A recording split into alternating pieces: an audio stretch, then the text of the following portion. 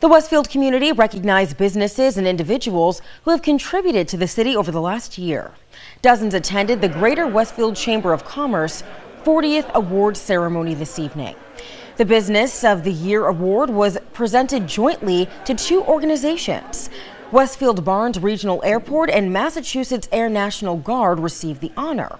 Both won for their dedication to the community. The Chamber also handed out several other awards, including Nonprofit of the Year and Member of the Year. These are all long and tried and true businesses.